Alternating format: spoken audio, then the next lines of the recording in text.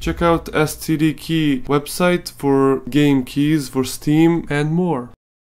Previously